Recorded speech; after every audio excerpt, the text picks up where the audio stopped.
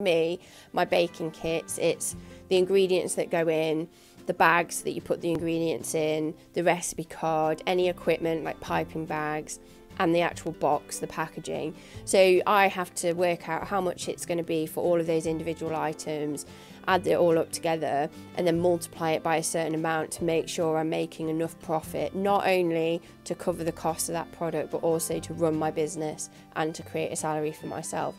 But then there's all the sort of extrinsic value to that product. So your branding, um, so things like getting your trademark, all the legalities of it, trademarking, all of the the ingredients like your recipe if you create recipes your recipe has a value. So i've won great taste awards for two of my recipes. So that increases the value of that product. Because if you walk into a shop and you see one thing that's got an award winning logo on it and another product that doesn't you know which one are you most likely to sort of head towards? So you know there's those little things to to consider around around it.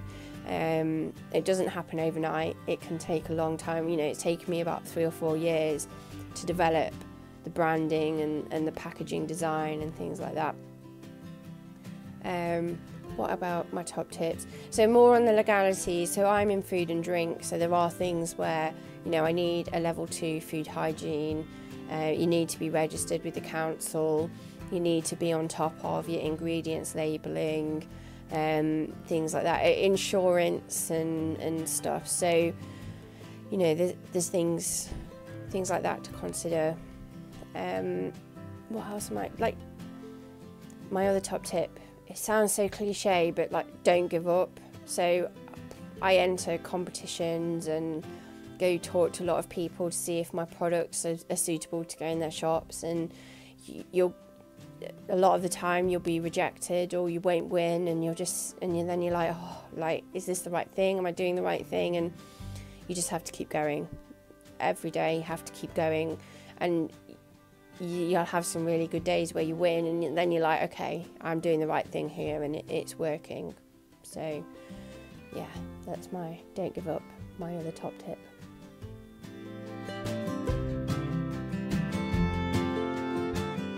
Some advantages of running your own business.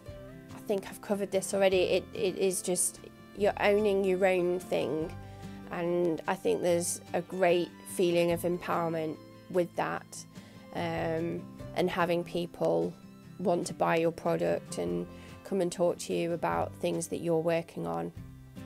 That's that's a you know good a good thing, an advantage.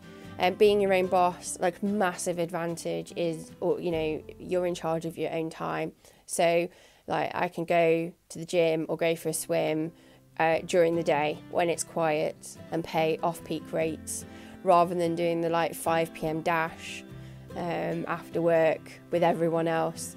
Uh, you know, you can go shopping when it's quiet. Uh, you can meet your friends for lunch. Um, I've got a friend with two young kids and I can go spend the day with them if I want to because then I know I can make up the time elsewhere in the week. So, massive, massive advantage doing that. Um, some of the disadvantages um, you're incredibly poor for the first few years.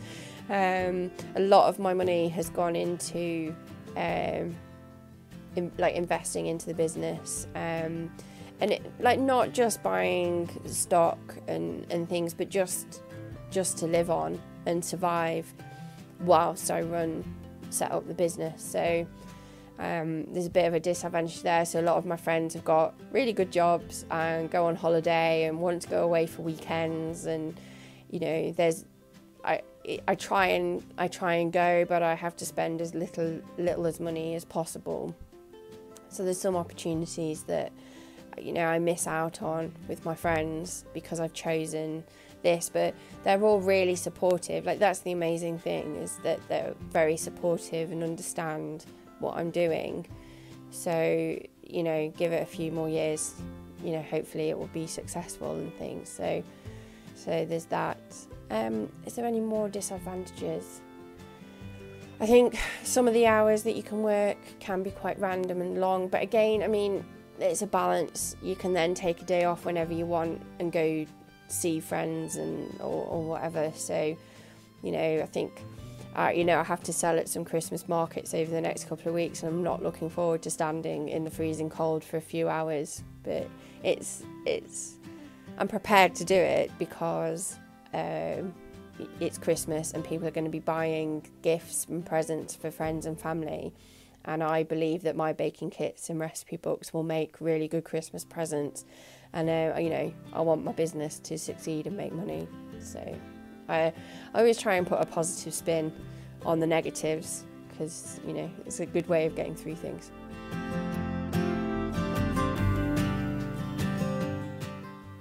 I think one of the important lessons that you learn when you start off doing sort of entrepreneur type classes is most successful businesses have solved a problem and uh, either better so people are willing to pay more money or cheaper so they're willing to come and buy your product over somebody else's product or service so I don't think you need any specific experience or training. I mean, there are schemes like the Young uh, Enterprise Awards and things where kids as young as like 14 or 15 are creating products in school and then selling them at Christmas markets. So, you know, I don't don't think you need anything specific. I mean, for my business, I'm a geologist and I like baking, so I was able to combine my two passions and build my business. Um, would anybody else have been able to do that? Maybe not, unless they have the same sort of, you know, university education and, and passion for baking as I do. Yeah, I don't really know. Um, but at the end of the day, if you are solving a problem or making life easier for someone and doing it at a fair price that they're willing to pay for that, then anyone can run a business it doesn't really matter how old you are or how much education you've had.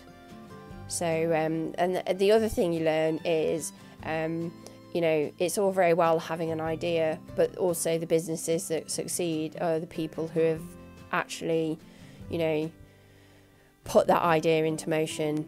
So, if you have an idea and you think it will help people, then try and go out and do it because there might be 10 other people sitting around going, oh, I could do that, but they don't really bother trying. So.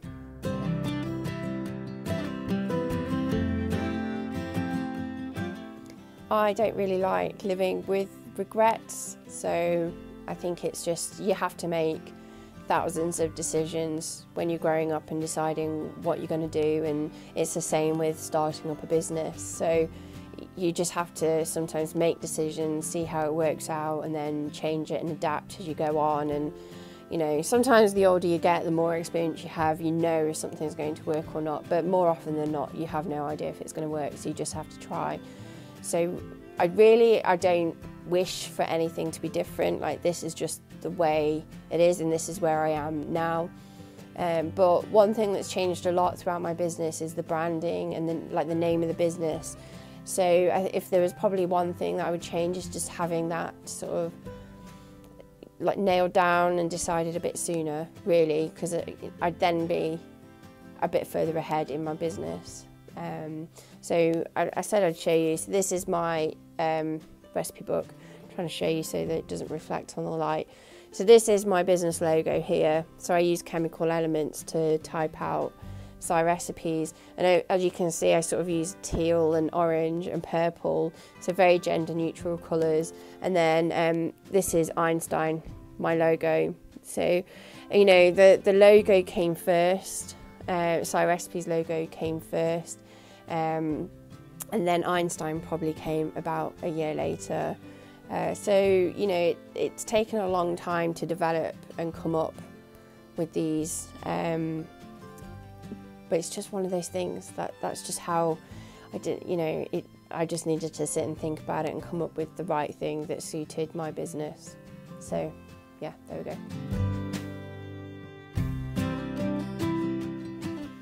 Okay, so resources. Um, so networking to start with, I think, is a really great way. In Nottingham, there's the Food and Drink Forum. So they do classes and you can meet people who are running very similar businesses to you. Because uh, sometimes you might have somebody that's like an app designer and they just have completely different needs for their business than you as a food and drink producer. So sometimes it's quite handy